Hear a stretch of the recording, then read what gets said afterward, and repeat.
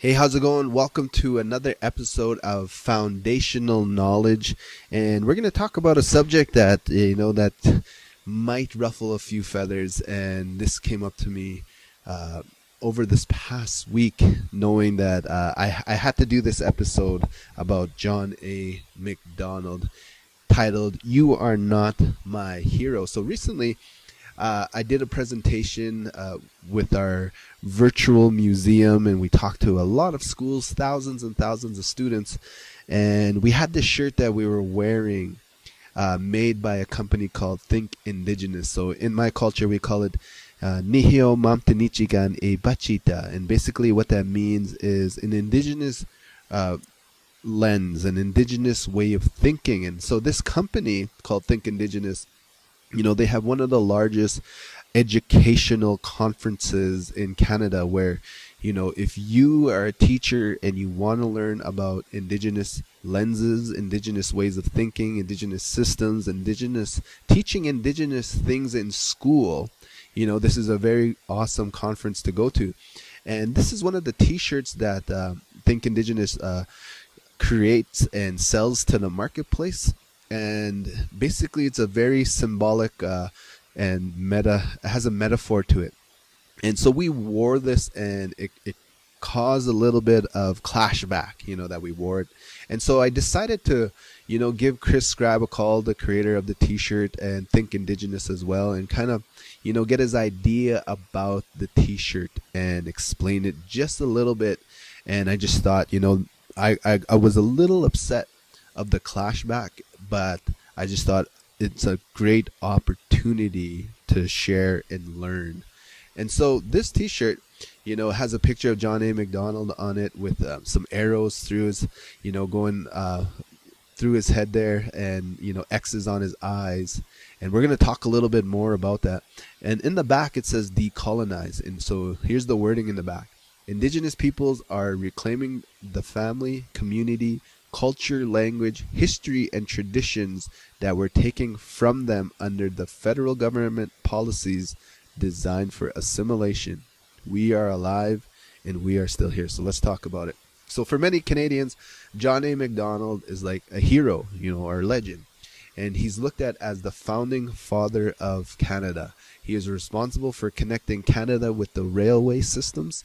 And you know what? Because of all that, we name buildings with his name we name schools after him. We name streets after him. Uh, we have awards that are named after him. We have his face on our money. And we are taught in schools that basically he is a hero. And the truth is, for indigenous people, he is not our hero.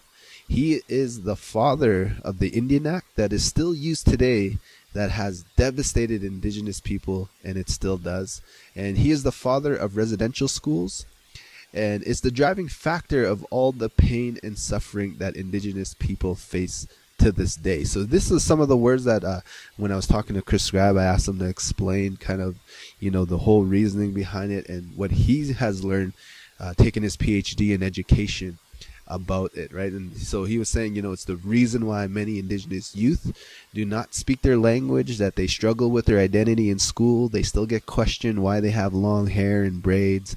And if an indigenous boy walks into a, a boy's bathroom, you know, gets ridiculed and saying, hey, you're in the wrong bathroom, because people just don't understand, right? So uh, the uncomfortable truth is that modern Canada is founded upon ethnic cleansing and genocide, and this is by James Daschuk, who, wrote, who wrote a good book called uh, Clearing the Plains. And although he's looked at as the hero and father of Confederation and a person instrumental in building what is Canada, you know, he is the direct reason why so many Indigenous families and students struggle with their identity, language, and culture and why do indigenous people have the highest suicide rates, imprisonment rates per capita, poverty rates, missing and murdered indigenous women, missing and murdered indigenous men? It all stems through these policies that we have against indigenous people through systems that just do not work for us. And so it's because of the Indian Act, Indian policy, the residential school system, uh, and the system itself, right? So and all this was imposed and enforced by John A. MacDonald. So I asked them to explain. Okay, you gave me that you know great information. I totally understand. I totally get it. Could you tell me a little bit more of how you design the image and you know the artwork of this T-shirt? So I called him up. I asked him that, and he this is what he said. You know the the arrows are a representation that that's arrow shot back to eliminate the Indian Act. The experimental testing that was done, colonialism, destroying the land and taking the land. John A. Macdonald is the poster for creating the Indian Act, the poster person for creating the Indian Act and colonization here in Canada. The arrows are direct shots at colonization, language loss, oppression, and everything that he stood for and everything he did to hurt us. He was the one who stood in front of these policies, and he was the leader of the nation state of Canada. And the arrows also represent this metaphor here. And you could look at this shirt as uh, you know violent and some people would say you know why would you wear something like that? And the question on the other side is this you know why would he lead that?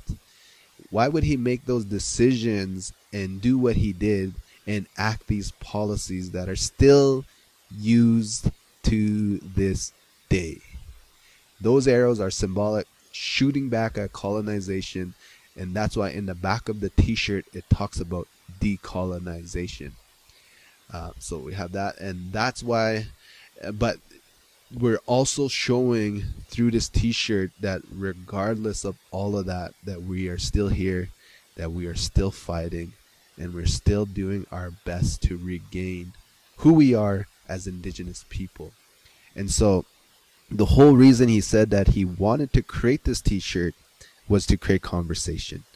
You know, it it was a to open up dialogue to, to for people to actually look back and realize why things are the way they are today why indigenous people still struggle in these educational system health system the the law system the legal system all these systems that seem to discriminate towards indigenous people and just do not work for us. So um, hopefully this open up your mind. Hopefully it opens up dialogue for conversation um, just to talk about it to show that you know what is the indian act? What are these policies?